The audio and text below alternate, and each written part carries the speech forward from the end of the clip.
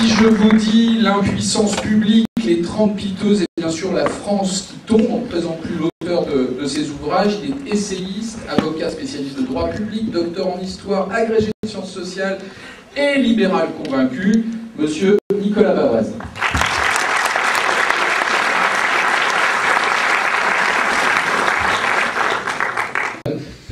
Semaines, lorsque Nicolas Sarkozy a prononcé son discours à Toulon.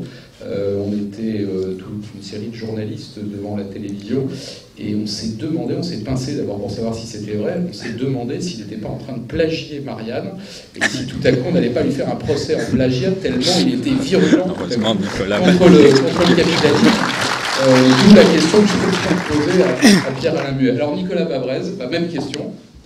Est-ce qu'on peut encore moraliser le capitalisme et quelque chose me dit qu'il y aura moins de pessimisme dans, votre, de intervention.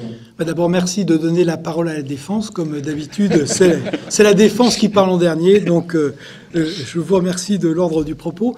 Moi, j'essaierai de vous démontrer que, évidemment, il faut des régulations, mais que ça ne suffit pas et que le capitalisme ne peut pas vivre sans une morale et une éthique et que quand il s'en éloigne, effectivement, on a des catastrophes.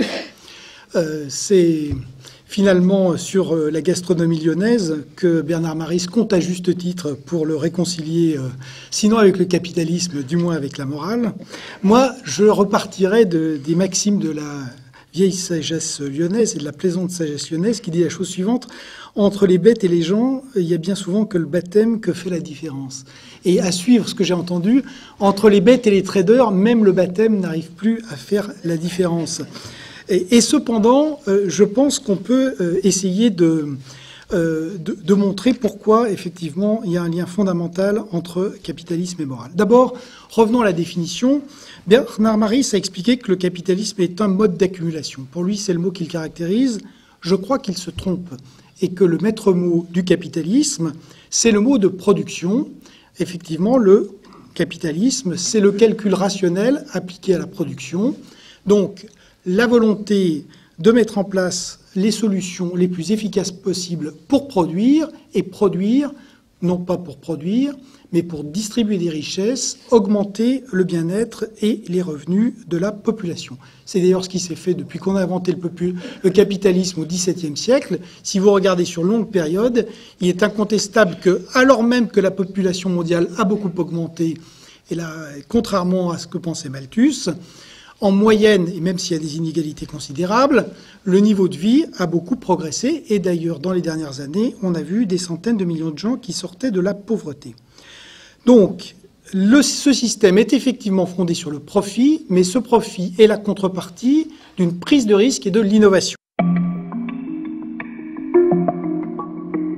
On dit souvent, euh, bah, il y a les méchants marchés et puis il y a la bonne politique.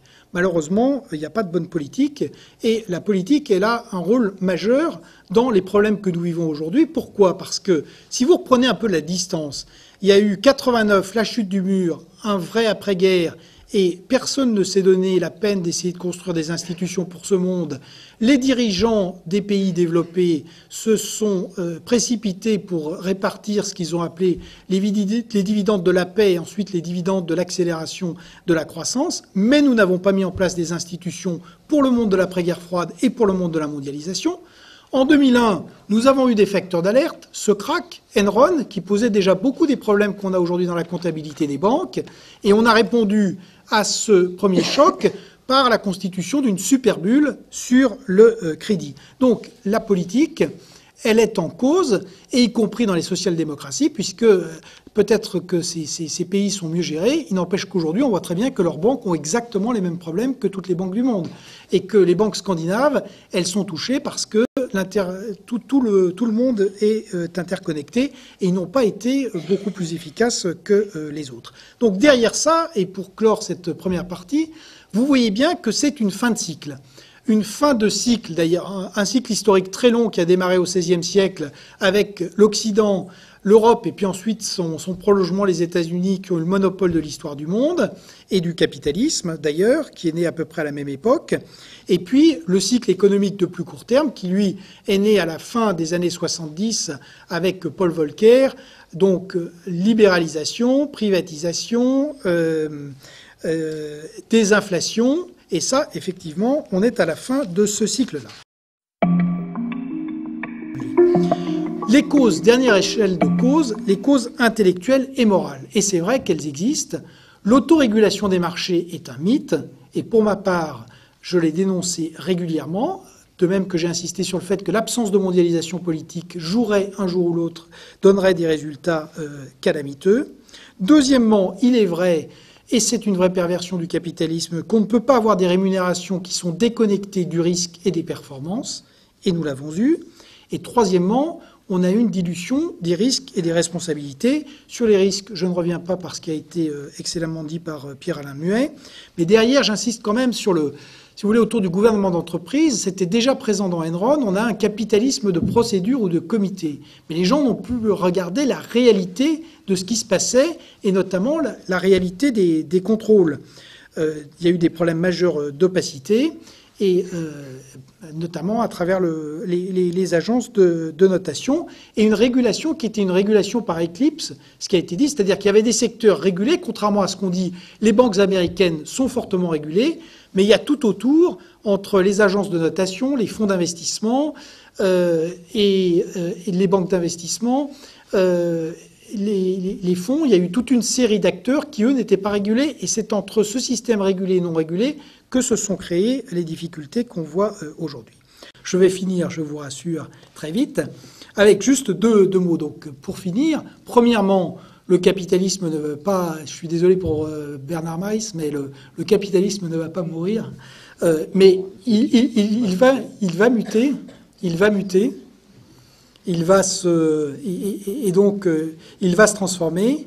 Deuxièmement, vous voyez que le libéralisme, lui, euh, le, problème, c'est plutôt sa mise entre parenthèses qui a été faite, parce que le libéralisme, c'est pas du tout un économisme, c'est au contraire un système qui insiste sur les contre-pouvoirs, sur le fait que, y compris l'économie, s'inscrit dans un système où l'autonomie du politique et le primat du politique est reconnu, où on a des institutions, des règles, et où on a aussi une éthique, une éthique du citoyen, mais aussi une éthique des entrepreneurs.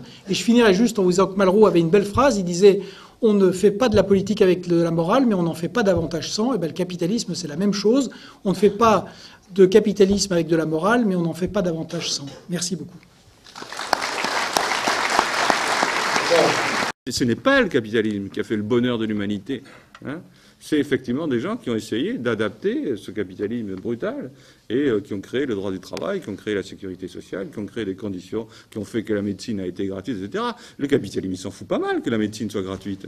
Mais vraiment, ça ne l'intéresse pas. Au contraire, il a envie qu'elle soit privée. Il a envie que, effectivement, euh, ce soit comme l'argent, que l'argent soit privé, que la médecine soit privée, que l'éducation soit privée, que tout soit privé. Donc, il y a, ce sont des contre-pouvoirs hein, qui ont fait que cette espèce de bonheur relatif que nous connaissons dans les pays du Nord, et qui fait qu'effectivement, mon espérance de vie s'est allongée par rapport à celle de mes grands-parents, c'est sûr. Mais malheureusement, ça ne s'est pas allongé entre 20 ans et 21 ans. Ça s'est allongé après 80. C'est comme ça, mais j'aurais préféré que c'était... Bon, cette espérance de vie, eh bien, nous sommes très heureux de pouvoir tous terminer avec Alzheimer, alors qu'avant, on ne connaissait pas Alzheimer. Ça a été la grande découverte du, du capitalisme.